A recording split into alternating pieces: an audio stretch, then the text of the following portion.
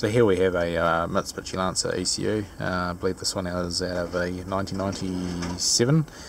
Um, so the ignition uh, coil uh, drive is this pin here. This is um, uh, one of the cylinders. Okay, so then uh, we can follow through on. This is just a simple double-sided board. So we lucked out there, and we can just simply probe from that pin uh, through the entire circuit and it leads up into this IC here.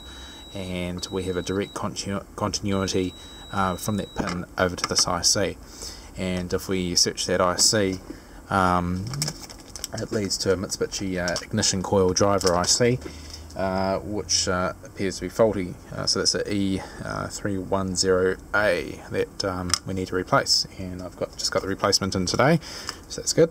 Uh, scrape my tweezers and some flux happening here.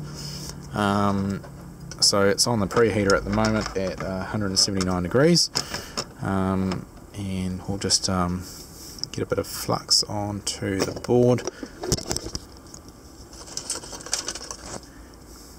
And just apply a little bit um, just a bit of gel flux here.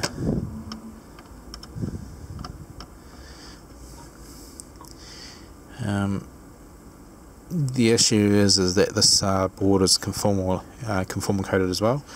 Um, so I'm not sure how well it's actually going to lift up but um, we'll find out um, in due course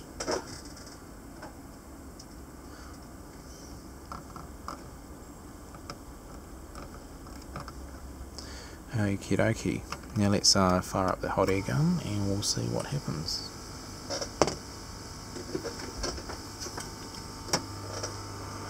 So we're just going to use a shitload of flux on this because I don't know how well this is actually going to lift. Um, take a note of the orientation obviously. And we'll just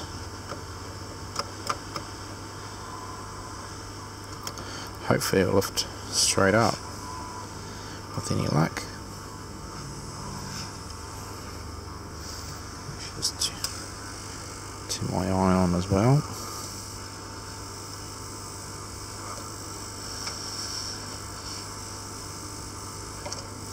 Looks like it's not actually going to lift up that easily.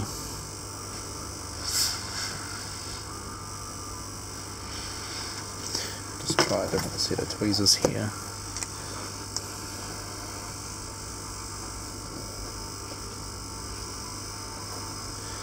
There we go. So there's our old IC removed. Just uh, pop that over here. You can see the gunk line off it as well. So that's uh, obvious sign that it's been conformal coated.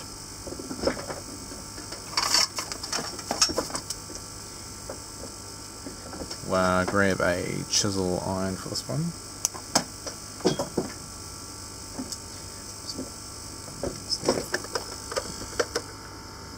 That into the um, station.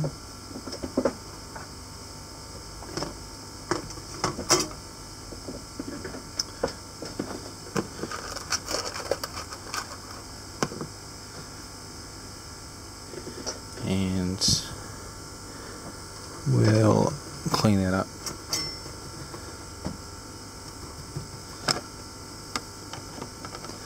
Just a bit of desolder wick here. We'll grab some leaded solder as well. Obviously being about 1997, this whole entire board's um, leaded anyway, so we're not too worried about um, lead-free solder on this board. And um, so we can run it at a much lower temperature. I'll just clean all that gunk off.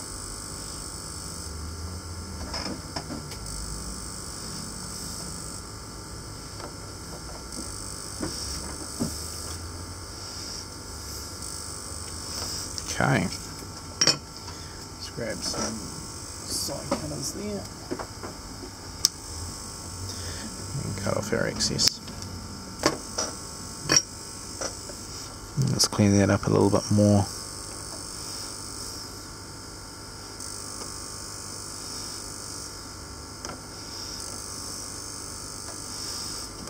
Okay. Let's grab a um, a uh, bit of wipes.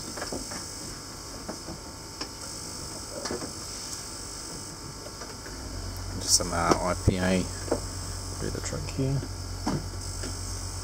Maybe a bit too hot, so oh no, it's okay.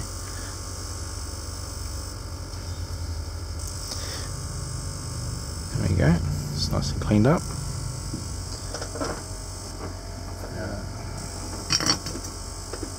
Grab this smaller iron. Actually, we might actually solder paste this instead. Um, grab.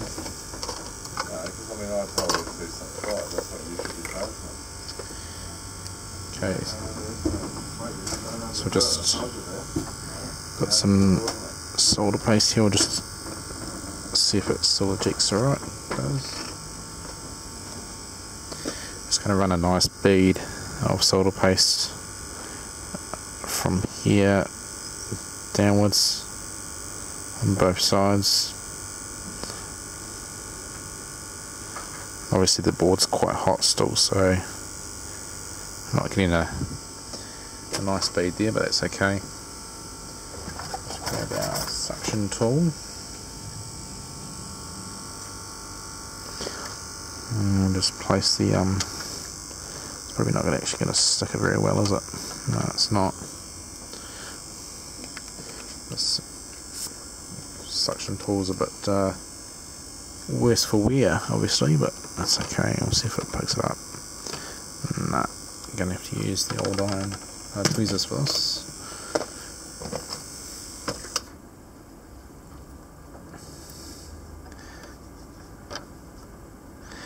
Just uh, estimate the location. That's about there. We'll just uh, zoom into where the area is.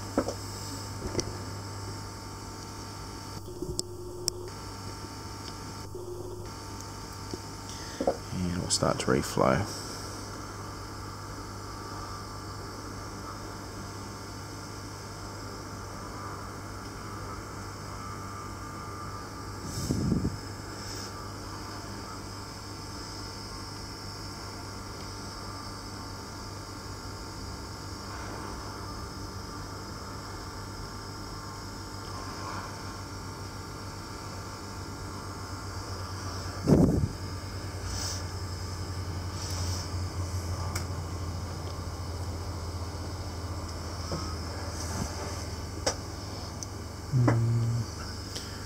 That's quite nice. Just a little bit of flux on there actually. Um, just put a little bit of gel flux around this area here. And I'll reflow that.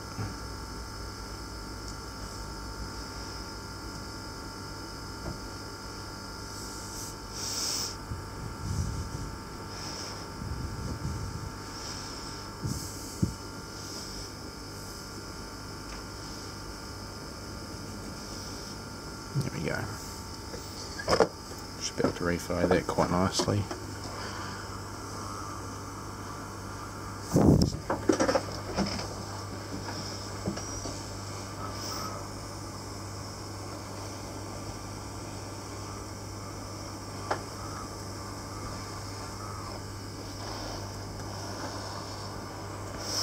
That's quite good.